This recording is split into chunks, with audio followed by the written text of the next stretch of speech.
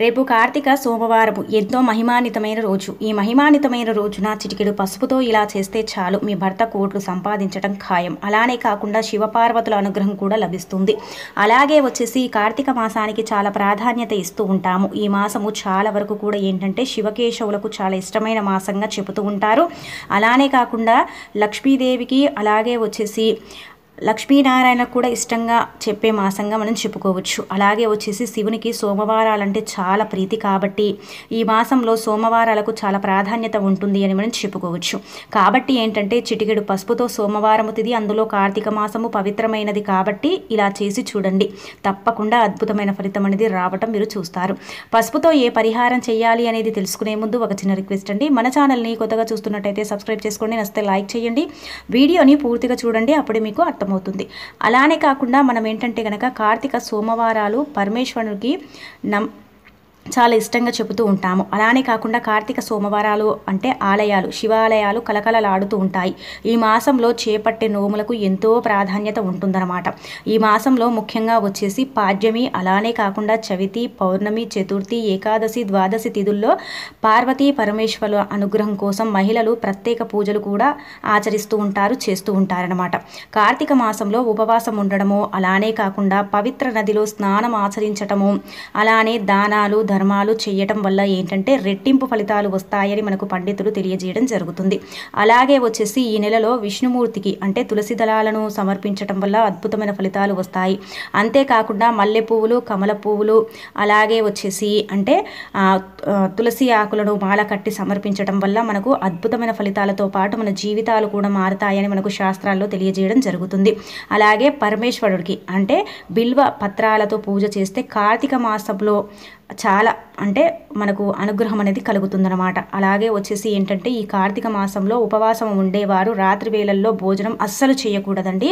కేవలం ఏంటంటే కనుక పాలు పళ్ళను మాత్రమే తీసుకొని ఉపవాసం అనేది ఉండాలని మనకు శాస్త్రాల్లో తెలియజేయడం జరుగుతుంది. కార్తీక మాసంలో దీపారాధనకు చాలా ప్రాధాన్యత ఉంటుందన్నమాట. నెల రోజులు దీపాలు వెలిగించే వారి ఇంట సుఖ సంతోషాలు వెల్లువీస్తాయని చెప్పుకోవచ్చు.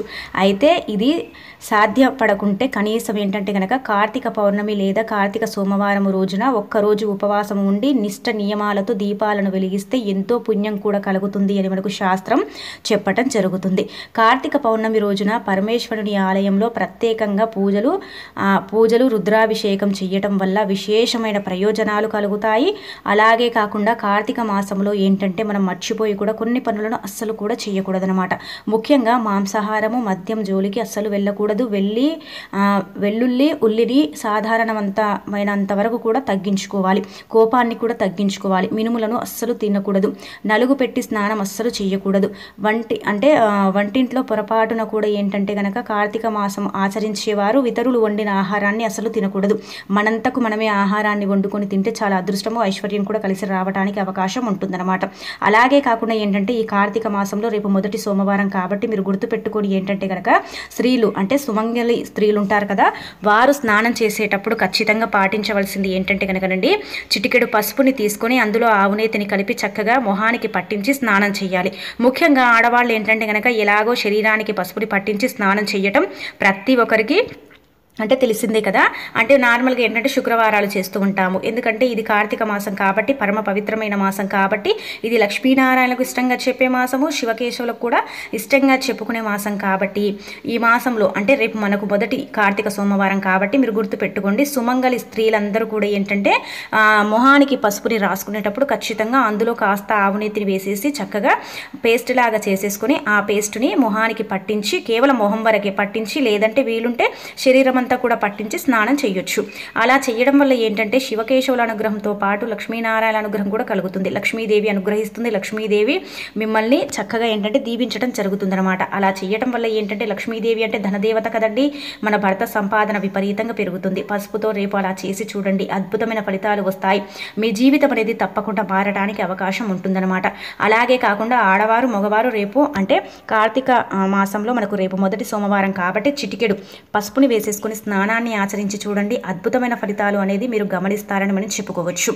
అంటే వీలు లేదండి మాకు అంత సమయం కుదరదు. ఇప్పుడు ఉండే బిజీ బిజీ లైఫ్ల ప్రకారం ఏంటంటే పసుపు రాసుకునేంత వీలు లేదనుకునేవారు. కేవలం మొహానికి అలా రాసుకున్నామా లేదా అన్నట్టు అలా అంటే రాసుకొని ఆ తర్వాత పసుపులు అంటే పసుపుని మనం నీళ్ళల్లో కొంచెం చిటికెడు చిటికెడు వేసుకోండి. ఇది ఎవరైనా సరే వేసుకొని స్నానం అనేది ఆచరించవచ్చు. అలా స్నానం చేసేసి నార్మల్గా దీపం పెట్టేసుకొని సోమవారం కాబట్టి ఆ పళ్ళు అలాగే కాకుండా దద్దోజనం అరటి పళ్ళు నైవేద్యంగా పెట్టేసి ఇంకా మన పనుల మీదకి మనం వెళ్ళొచ్చు అనమాట చాలా అద్భుతమైన ఫలితాలు వస్తాయి.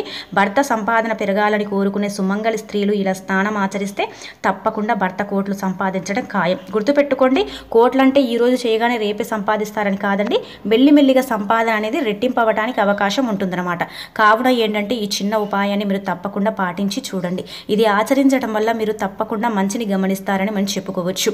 అద్భుతమైన ఫలితాలు రావటం అలానే కాకుండా మీ జీవితం మారటం. పసుపునే ఎందుకు రాసుకోవాలని మీకు సందేహం రావచ్చు. పసుపు చాలా పవిత్రమైనది చాలా కూడా ఏంటంటే కనుక ఇదేంటంటే చాలా శుభసూచికగా మనం భావిస్తూ ఉంటాం కదండి. పసుపు.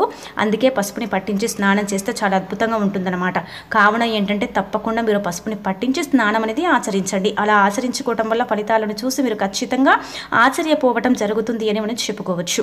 మగవారైతే స్నానం చేసేటప్పుడు చిటికడ పసుపుని వేసుకోండి రాళ్ళ ఉప్పుని కూడా వేసుకోండి. నెగిటివ్ పోతుంది మీకు సంపాదన పెరుగుతుంది దరిద్రం దూరం అవుతుంది అనమాట కాబట్టి ఏంటంటే చిటికెడు పసుపుని తప్పకుండా వేసేసుకొని స్నానం అనేది ఆచరించి చూడండి. ఇక అలాగే కాకుండా ఏంటంటే ఇంట్లో ఉండే సమస్యలన్నీ తీరిపోవాలి. చక్కగా ఏంటంటే ఎప్పుడు చూసినా ఇంట్లో గొడవలు జరుగుతూ ఉంటాయి విపరీతంగా కష్టాలు వస్తూ ఉంటాయి. అలానే కాకుండా మేమేం చేయాలో అర్థం కాదండి అని చాలామంది బాధపడుతూ ఉంటారు కదండి. అలాంటి వాళ్ళు ఏంటంటే ఈ కార్తీక మాసంలో రేపు మొదటి సోమవారం కాబట్టి మనం ఏంటంటేనండి పూజ చేసుకుంటాం ఇలాగూ. ప్రతి ఒక్కరు కూడా శివాలయాలకు వెళతారు అభిషేకాలు చేయించడము. అలానే కాకుండా సూర్యోదయానికి ముందే లేచి స్నానం చేయడము దీపం పెట్టడం ఇలాంటివన్నీ కూడా చేస్తూ ఉంటారు కదా. అలా చేసేటప్పుడు ఏంటంటేనండి మీరు చక్కగా మీ పూజ గదిలో దీపం పెట్టుకుంటూ ఉంటారు కదా మీరు అప్పుడు. పెట్టుకునేటప్పుడు మీరు ఏంటంటే ముఖ్యంగా ఒక ఎరుపు రంగు వస్త్రం తీసుకోండి. ఎరుపు రంగు వస్త్రంలో వచ్చేసి ఏంటంటే దీపం పెట్టిన తర్వాత ఈ పరిహారం చేయండి. అందులో కాస్త రాళ్ళ ఉప్పుని పోసేయండి. రాళ్ళ ఉప్పు గురించి మనందరికీ తెలిసిందే మనం ప్రత్యేకంగా చెప్పుకోవాల్సిన అవసరం లేదండి. ఆ తర్వాత ఏంటంటే పసుపు కొమ్ములు ఉంటాయి కదండి. పసుపు కొమ్ములు అందరి ఇళ్ళలో ఉంటాయి కాబట్టి పసుపు కొమ్ములని తీసుకోండి. రెండింటిని తీసుకోండి సరిపోతుంది. కొంచెం రాళ్ళ ఉప్పు ఒక టీ స్పూన్ అంత రాళ్ళ ఉప్పు రెండు పసుపు కొమ్ములు ఒక ఎరుపు రంగు వస్త్రంలో కట్టేసి మీ ఇంటి గుమ్మం ముందు కట్టుకోండి ఇంట్లో నుంచి కట్టుకోండి. అలా కట్టుకోవడం వల్ల చాలా అద్భుతమైన ఫలితాలు వస్తాయి. మనం పూజలో పెట్టి ఆ తర్వాత పూజించి కట్టుకుంటున్నాం కాబట్టి మనకు అద్భుతంగా ఉంటుందండి. ఇంట్లో ఏదైనా చెడు బాధలు ఉన్నా చెడు సమస్యలు ఉన్నా వాటి నుంచి మనకు విముక్తి కలగటానికి ఈ పరిహారం చాలా అద్భుతంగా ఉపయోగపడుతుందని మనకు శాస్త్రాల్లోనే తెలియజేయడం జరుగుతుందన్నమాట. కావున ఏంటంటే ఈ చిన్న పరిహారాన్ని తప్పకుండా పాటించి చూడండి. మీరు ఒకవేళ ఉదయం చేసుకునే వీలు లేని వారు ఏంటంటే కనుక సాయంత్రం కూడా ఈ యొక్క పరిహారం అనేది పాటించవచ్చు. ఉదయం స్నానం చేసే వీలు లేని వారు సాయంత్రం అయినా సరే మొహానికి చక్కగా పసుపుని పట్టించి కూడా స్నానం అనేది చేసేసుకోవచ్చు. అలా చేసేసుకుంటే తప్పకుండా శివకేశవుల అనుగ్రహం కలుగుతుంది. లక్ష్మీదేవి అనుగ్రహంతో మన భర్త చక్కటి సంపాదనతో కలిగి ఉంటాడని మనం చెప్పుకోవచ్చు. కావున ఏంటంటే ఈ విధి విధానాలను తప్పకుండా పాటించి మంచి ఫలితాలను పొంది చూడండి. కార్తీక మాసము గొప్ప మాసంగా భావిస్తాము. అంటే హిందూ సాంప్రదాయాల ప్రకారము ఆచర అంటే ఆచరణ ప్రకారం ఏంటంటే కార్తీక మాసానికి చాలా ప్రాధాన్యత ఇస్తూ ఉంటాము. కార్తీక సోమవారాలు చాలా అద్భుతంగా చెబుతూ ఉంటాము. మహిమాన్వితంగా కూడా మనం చెప్పుకుంటూ ఉంటాం. కాబట్టి కార్తీక సోమవారాలకు అంతటి ప్రాధాన్యత ఉంటుంది. అలాగే కాకుండా కార్తీక సోమవారాల నాడు మనకు ఏంటంటే ఎక్కడ చూసిన శివాలయాలు చక్కగా ఏంటంటే కనుకనండి నిండిపోయి ఉంటాయన్నమాట. అంటే కలకలలాడుతూ ఉంటాయి కదా భక్తులతో. శివుణ్ణి అభిషేకించుకోవడము శివుణ్ణి ఆరాధించడం ఇలాంటివి చేస్తూ ఉంటారు. అలా చేసినప్పుడు బిలువదలాలతో శివుణ్ణి పూజిస్తే అనుగ్రహం తప్పకుండా కలుగుతుంది.